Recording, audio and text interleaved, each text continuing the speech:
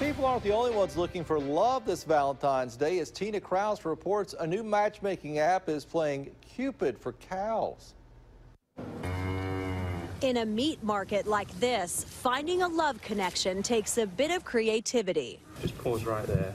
Farmers across Britain are using a new app to choose the best breeding partners for their cattle. The idea of, of Tudder is, is taking inspiration from Tinder and, and making that come alive for, uh, for livestock. Tudder runs on the same concept as the dating app Tinder. You swipe left for no or right for yes until you make a match.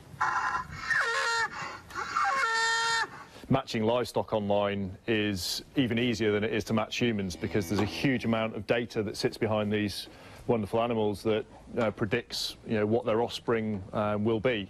Unlike other dating apps, choices are made not just on looks or personality, but science. Profiles of cows and bulls from 42,000 UK farms reveal how much milk a mate could produce and its protein content, along with the animal's breeding potential. Farmer James Bridger says Tudder takes the stress off him and his animals, saving trips across the country, searching for their better calf. You've got the picture, you've got all the background of the animal, um, and you know where, it's, where it is. Tudder's goal is to unite sheepish farm animals with their soulmates, and breeders say in this case, you really can buy love. Tina Kraus, CBS News, London. Oh, cute cow there. The Tudder app links farmers to Sell My Livestock website, which has listed more than $64 million worth of livestock, feed, and bedding in the last year. Could really